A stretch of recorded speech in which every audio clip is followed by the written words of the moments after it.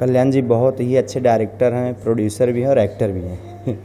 और कल्याण जी की फ़िल्म आ रही है ड्रीम सिटी मुंबई और काफ़ी अच्छी रहेगी। और ये जो फुटपाथ पिक्चर बना रहे हैं हम इसके लिए बहुत बहुत शुभकामना और कल्याण जी आगे बढ़ें।